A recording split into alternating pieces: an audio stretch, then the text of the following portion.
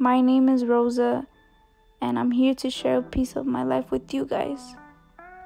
I've realized I can use social media in a way to speak my mind and inspire other people that are going through the same thing as me or similar. Two past years have been the worst, but that doesn't stop me from smiling, from laughing, from living my life. My mom is so amazing. She does so much for me, and I hope she knows how much I appreciate her. And if I could ever pay her back for everything she's done for me, I would do it without even thinking it twice.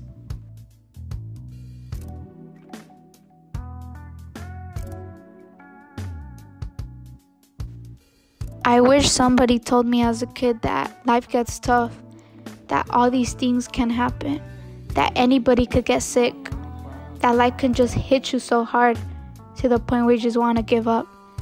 I wish somebody told me that. I wasn't ready for all this. I didn't know all this. And I'm just grateful for the family that God gave me because they make me a better me and they make me strong. And sometimes I just want to give up and not take my pills ever again because I hate that it has side effects and that I can't go out with my friends because I always feel sick.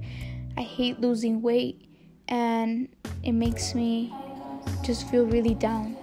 But at the end of the day, I always pick myself up and I remember the strong girl I am.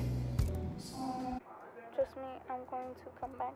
My mom always has a big smile on her face, even when we're at the doctor's appointment, because we always want to receive good news and we expect good news and sometimes it's not like that, but we still go with a positive mindset. Just because I got a smile on my face doesn't mean I don't go through anything.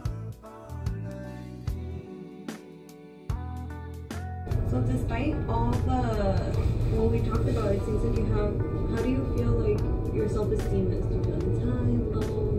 Like, what do you mean? Like, you know, like self esteem. Like, do you feel good about yourself? Are you happy Um, with yourself? Well, sometimes I feel happy about myself, but sometimes because of like the disorder Mm-hmm. and everything like that went on, um, I feel like sad. Like I know there's like a piece of me that's like sad. Like I try to stay positive and like like show everybody that I can that I could do it, but I know deep down like I'm sad. Yeah, something like that. And then what about um, what you described to me right now? The dizziness, the weakness, the seeing of the spots, the huge headaches. Does that happen like once a week or That happens like twice a week.